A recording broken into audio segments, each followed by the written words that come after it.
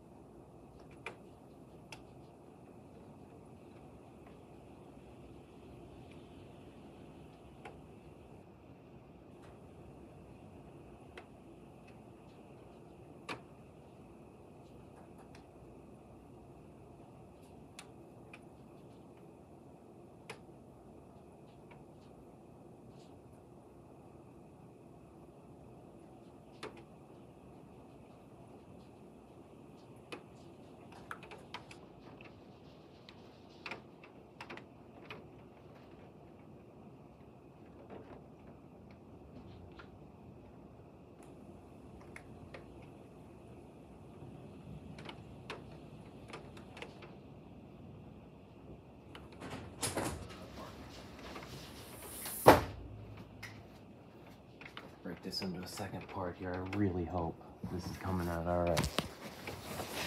right.